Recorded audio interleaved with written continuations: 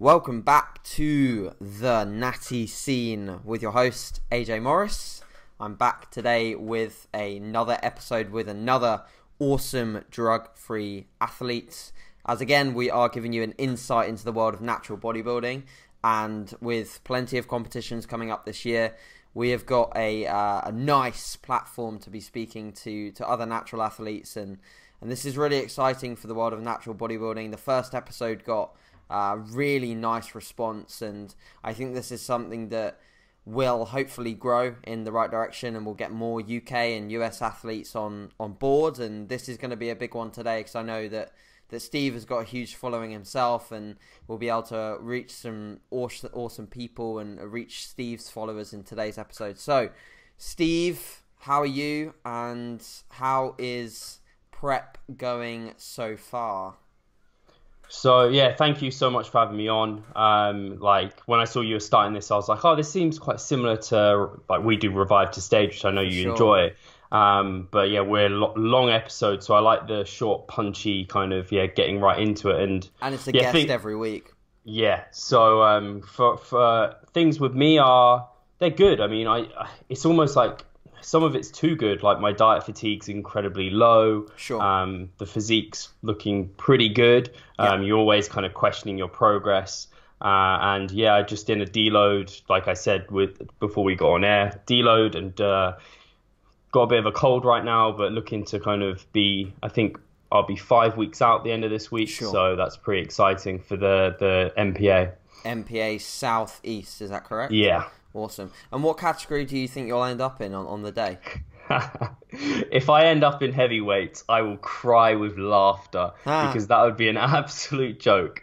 I should be on the, the upper end of middleweights. Yes, um, so into that. Yeah, so I think that's under 78 kilos. Um, do, you, do you um, imagine you'll have to do any sort of like on the day manipulations with regards to water or your first meals just to make sure that you suck into that bracket? Um, assuming they still let me compete, I'm just going to compete in whatever way in like I come in. So if I'm okay. a heavyweight on the day and they, I, I, hopefully they'll let me compete as a heavyweight on the day. Yeah. And they won't be like, oh, you've signed up as a middleweight. Oh, no, so they won't. To. No, they won't do that. It's just obviously your optimal grounds for competing might end up being the middles, but and and this is a topic for another discussion. But I remember Harry Ranson competing at the NPA show, and yeah. he he dipped into the heavies, and actually it ended up being probably a favourable thing for him because the middles were stacked. Yeah, yeah, because I know Gordon and Sam Slack were in the middles, and that was like, that yeah, was I mean, NPA if, finals top two.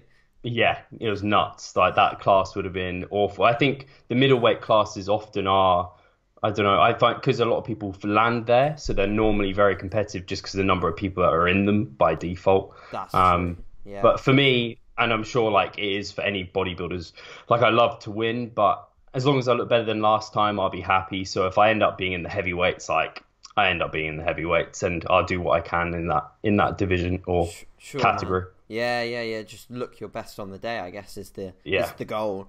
So, give us a bit of an insight, Steve. When did you start your competition prep this year? I know that it's been a little bit unorthodox, and probably some people listening to this will be like, "What the hell are you doing? Like, surely that makes no sense." uh, yes. So, when when did you start your prep, and what does it look like so far? It's kind of weird. Um, it's I started basically at the end of February, I guess, is when I kind of started prep. But okay. I was already at that point about 15 well I was 10 pounds above my actual stage weight and 15 pounds above like my all-time low weight back in 2014 14. when i competed yeah so i expected to be heavier than that anyway so mm. i started out lean um, so after 10 weeks of dieting and in fact it was only about eight weeks of actual dieting because i dropped in weeks at maintenance diet breaks within that i was already down at 170 pounds Boom. and looking like I remember talking to you and I was like, you were like, you're going to be ready early if you like keep going how you are. Yeah, because my sure. shows now are in September, so it's like I was going to be ready way too early. So then I took. Um, and I, I knew this might happen. I took five weeks where I actually massed, so I built calories back up, um, and then I maintained for five weeks. And so I've just had the first four and a half weeks of my kind of second half of prep, as it were, whereas like it's really digging. Yes. Um, and so I actually really weirdly kind of the body weight and my scale weight has been so strange in that I was 170 pounds kind of at the end of that dieting phase. Yeah. It kind of fluctuated up a bit and then fluctuated back down, and I'm still at 170 pounds. Wow. Um, but looking kind of considerably different. Um, and it's actually really interesting because I had a consultation with uh, Broderick Chavez uh, Oh, last night, in fact. Okay. And um, I just wanted to hear his thoughts on what was happening with my body weight. And he was basically like, he almost essentially said, chuck away the scale. Like at this point, for that kind of level of leanness, it's not really telling you what's going on with your body fat levels. Yeah. And better is like assessments of kind of how you're looking in the mirror, DEXA scans if you can get hold of them, or good caliper testing. He was like, that's going to tell you so much more because at the moment you're you you're in that once you're under 10% body fat, that is a tiny amount on the scale, especially if you're only looking to lose like half a pound a week or something. It's like, well, how do you really know? So it's like you know, looking how you're looking in the mirror, you can be heavier but looking better. So yeah, it's been a bit confusing and not traditional because my last prep was so long and drawn out, and I, Straight I felt deficit.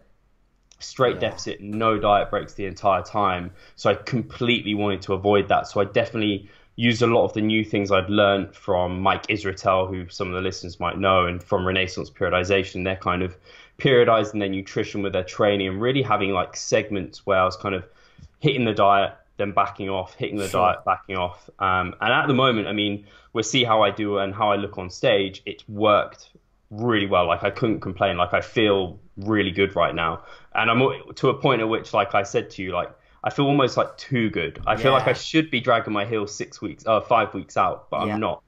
No, that's amazing, and it, it goes to show, guys, like the more like, and you've talked about it with Pascal so often on Revive to Stage, which, and obviously the Revive to Stronger podcast is something that I highly recommend that you guys listen to.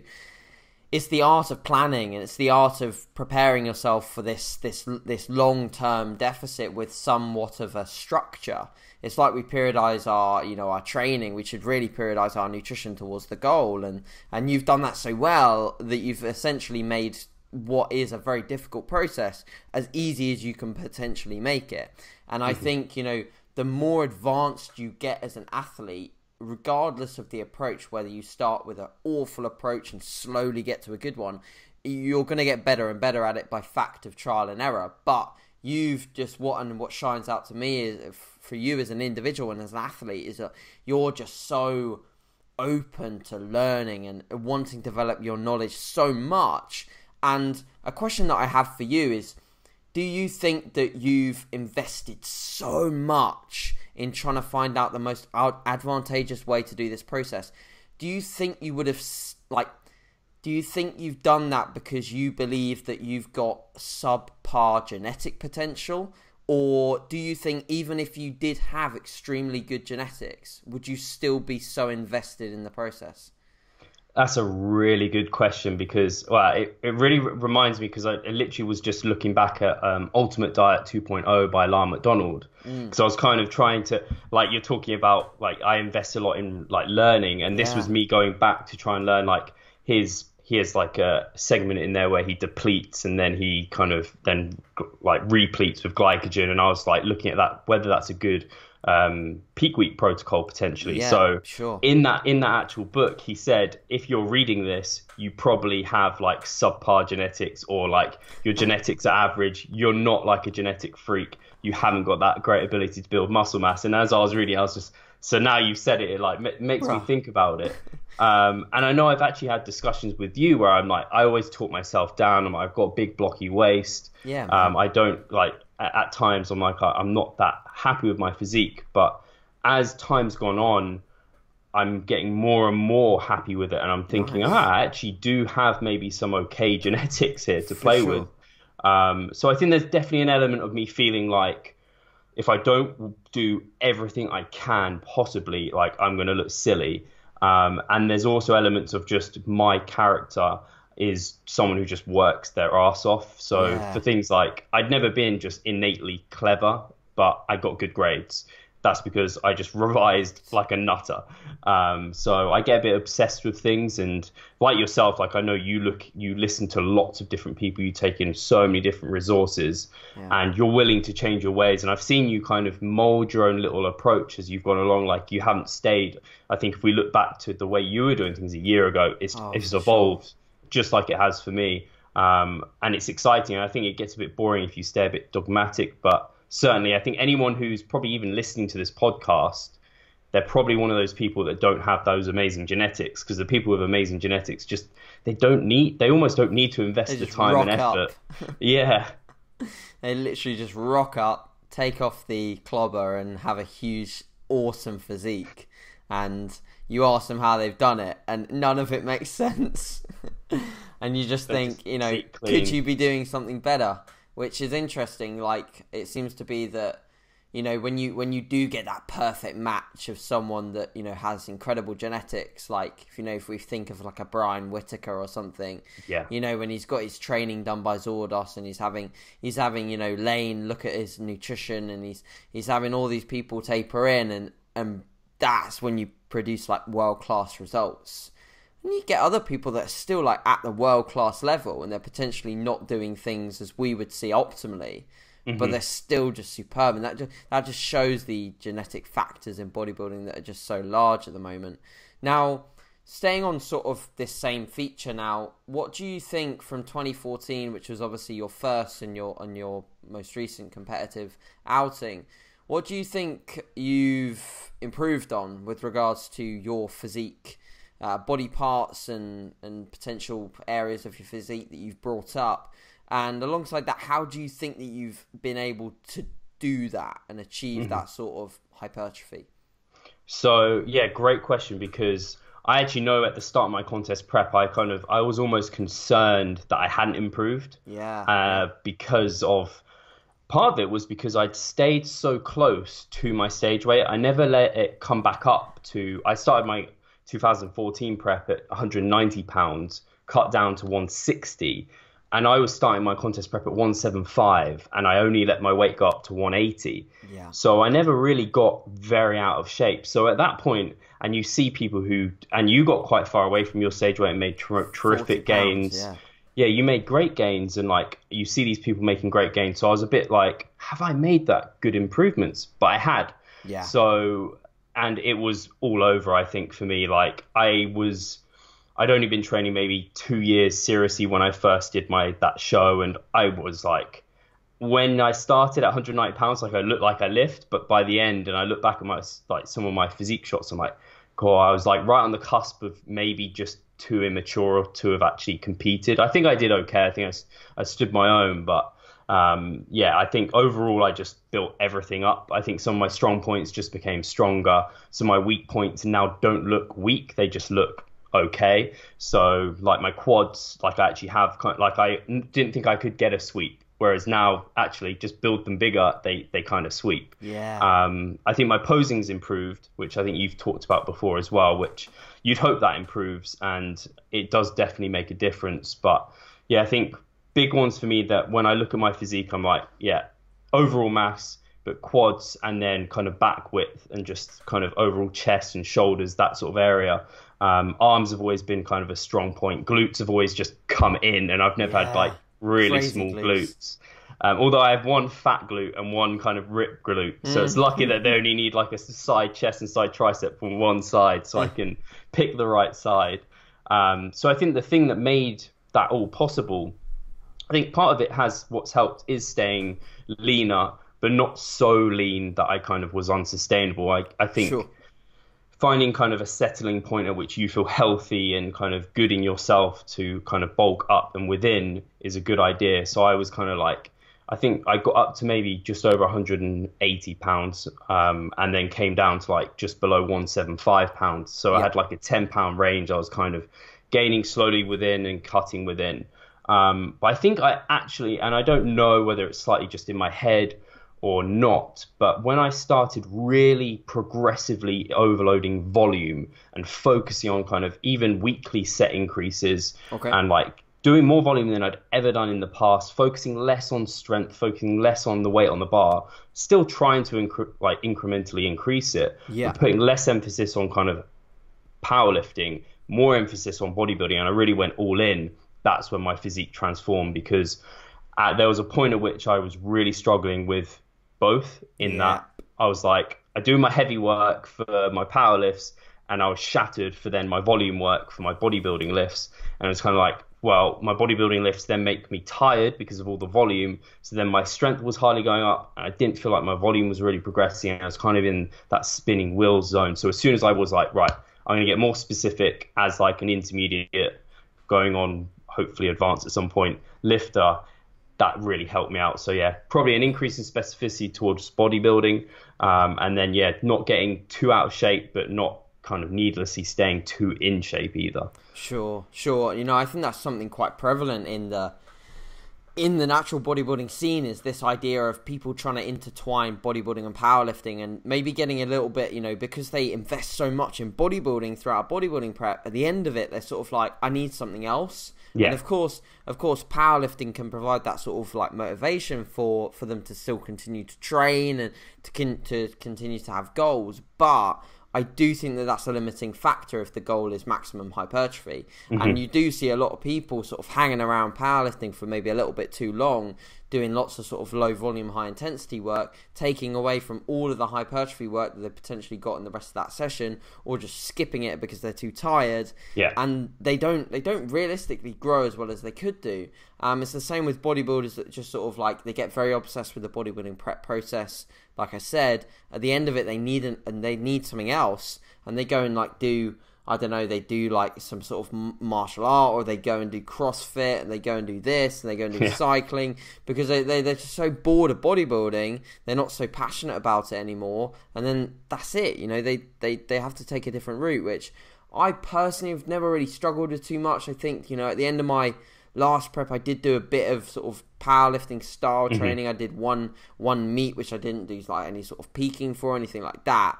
But I, I did feel the need to have a bit of a different goal. Um, so I think you know when when I do reach the end of this one, hopefully I'll still be very passionate about my weight training and I'll want to purely focus on just getting as big as possible because I know the goal next time round will be to jump up to a men's open category, which will require much more muscle mass. So yeah, I think that's interesting. Now, when it comes to your training at the moment how are you setting things up? Because i know that you have again quite a sort of a specific approach to the way that you train. So if if you could take people through maybe like a general week of training for you at the moment. So yeah my i think this has been a bit of a game changer for my prep as well. The fact that i'm now self-employed allows me great flexibility in terms of nutritional timing uh, yes. and being able to split up my training how i like Sure. And so this has really helped me take control of those aspects and made it just much simpler. So I actually train twice a day, most days. Yeah. Um, my upper body sessions I split into two, and one of my lower body sessions I split into two. And this is basically following a, um, I follow a uh, pull, push, legs, pull, push, legs split. Okay. Um, and so on my upper body days, I'm just doing my compounds in the morning uh, I say in the morning. Normally, it's like after my first meal, which is normally I normally train around twelve thirty, and then in the PM. So they're both in the PM, but I call it AM and PM.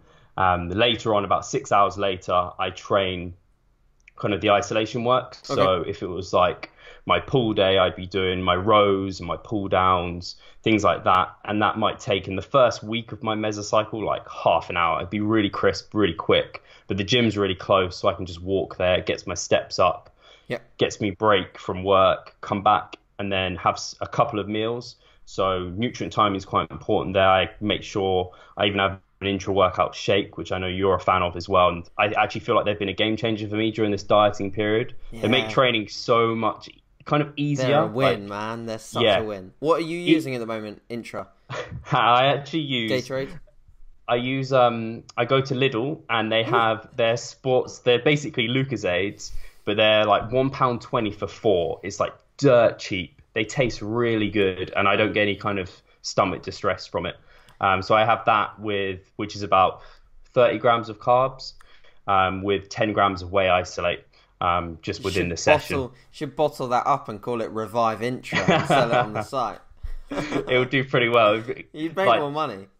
It's so it's crazy how cheap they are considering like a Lucozade bottle in itself costs like one fifty two pounds. Yeah, it's no, crazy. Sure. But it's just fast acting sugars with a fast acting carbohydrate. Cool. Um, so yeah, that really helps. And then after my workout, again, it's a lean protein source. Try and keep fiber and fat low. Getting a bunch of quick acting carbohydrates. So normally I have like rice cakes and egg whites because they're kind of higher volume foods as well. Yeah. And then getting another meal about two to three hours after that, and then train about an hour after that. Awesome. Um, and then finish my day with a, a, massive salad because that's basically where I get most of my vegetables in. Yeah. Um, and that's good because it that's when I'm normally most kind of hungry and wanting to eat, so I can just stuff my face. Yes. Um, so that's good. And so yeah, through the week, that's basically how I split training. Legs cool. is a bit different.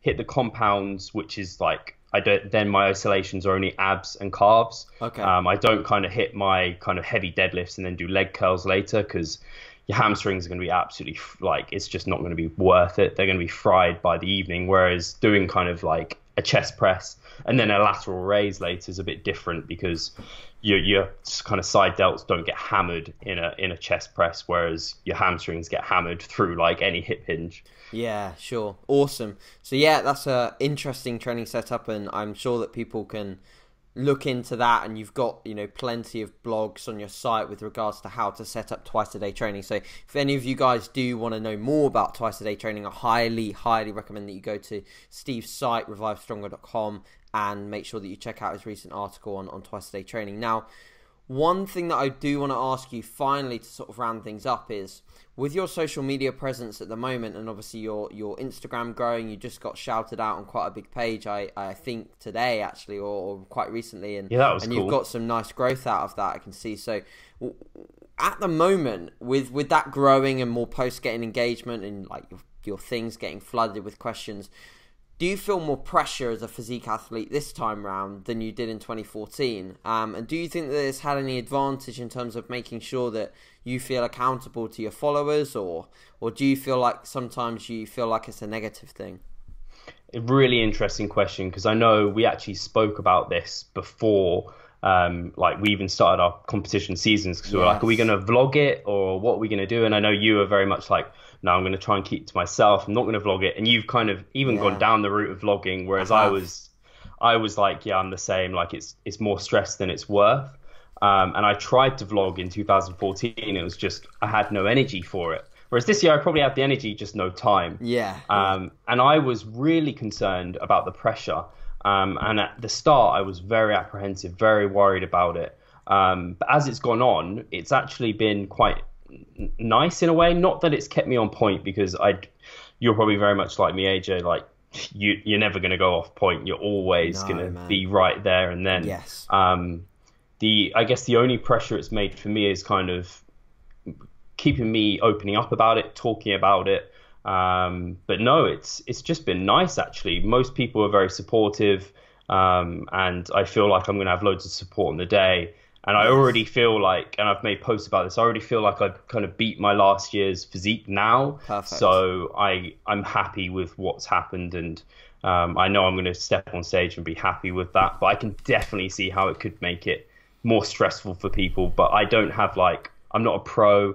I don't have any kind of I don't think anyone has any really high expectations of me, which okay. is kind of nice because I don't know. I maybe it's the way I present myself on social media that I don't. I'm not incredibly kind of arrogant or like I'm not talking about the fact I'm going to win yes, because yes. I'm just kind of just doing it to, to do better than last time. Absolutely, no, that makes sense. So, Steve, thank you very much for your for your time. Now, essentially, what I want the listeners to be aware of is obviously where they can follow you a little bit further. So, uh, just obviously uh, shout out your your Instagram handle and your website, and also just let the listeners know exactly what shows you are going to be competing at, so that obviously anyone that that wants to look out for the results or potentially wants to come and support uh, can do that. Yeah, that'd be awesome. Yeah, thanks so much. It's been a. I, I mean, I think we could probably talk for far too long. We I ramble man. way too much. Nah, um, it's been a good chat. Um, so if yeah, Revive Stronger on any of the platforms. If they just search Revive Stronger, cool. um, I'll pop up. And the shows I'm doing are the NPA on the 2nd of September, Southeast, and then the UK DFBA, which AJ is also doing on mm-hmm. the 30th uh, of September, which is southeast as well, isn't it? So that's in Rugby. Yes. Um, and the one on the second is in Tunbridge. So yeah. um, booked my tans and everything for both of them. So yeah, pretty excited. I, am so pale right now. It's, it's I, I can't wait to actually get a tan. Nah, yeah, you'll need about 18 coats. yeah. So, guys, thank you very much for listening to to episode two of the Natty Scene. We will be back later in the week for another episode with another awesome athlete. Uh, Steve, thanks again for your time, and thanks again, guys, for for listening. And we'll see you soon. Cheers, Steve. Thanks, guys.